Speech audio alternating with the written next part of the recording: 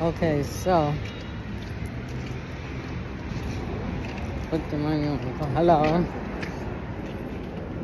I put the money on the the car,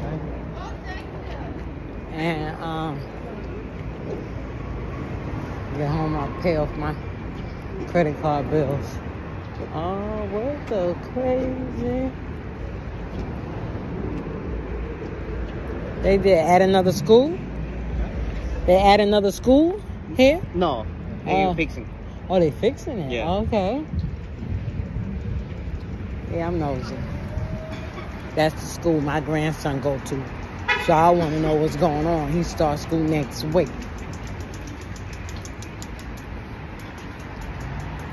Sometimes it's good to be nosy.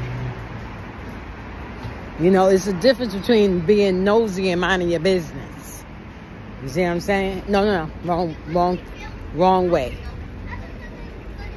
It's a difference from being nosy and being all up in people's business.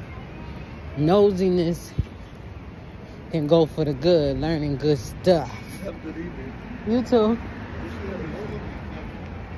I'm sorry, I'm in a rush. Next time, thank you. Yeah, double dash. Two.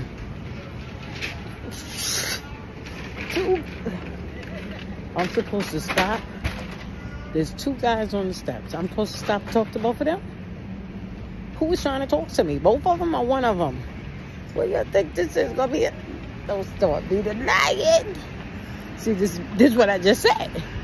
Now I'm being I'm a nosy person, but I ain't that nosy to know what they want to to find out what they want to know.